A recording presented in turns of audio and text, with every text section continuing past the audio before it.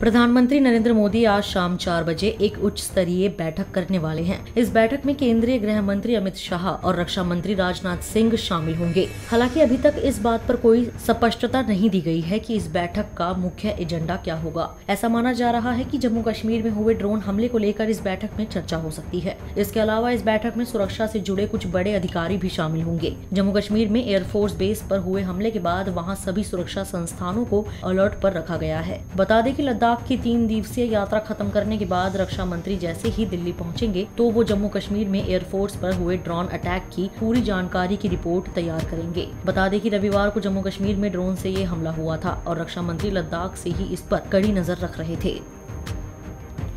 इस वीडियो में इतना ही। मैं कोमल पंजाब केसरी, दिल्ली से। अगर आपको हमारी ये खबर जानकारी पूर्ण लगे तो हमारे Facebook page Punjab Kesari dot com को लाइक करें और अगर आप हमारी ये वीडियो यूट्यूब पर देख रहे हैं तो हमारे चैनल को सब्सक्राइब करना ना भूलें।